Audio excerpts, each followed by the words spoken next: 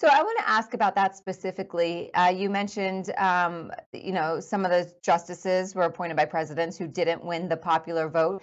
So are you and perhaps other Democrats in the Senate or in Congress discussing changing the process for the confirmation and nomination of a Supreme Court justice?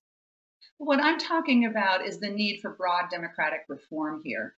Um, starting with reforming the filibuster, reforming the rules of the Senate so that a minority in the United States Senate can't stop uh, us from um, putting into place laws that the vast majority of Americans um, want.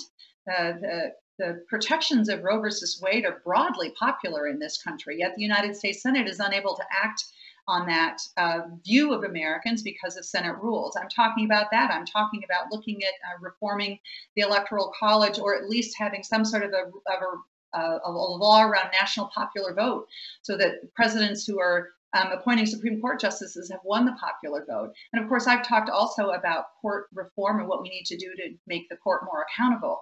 Um, but fundamentally, the most important thing, not I think it's we, we, we can't be too distracted by that right now, because the most important thing is winning elections at the state level and at the federal level, so that the people who are making decisions reflect the views of Americans, and that has to happen. That's what this election is going to be about. I believe that Roe is going to be on the ballot this November, and the contrast between Democrats and Republicans could not be more clear.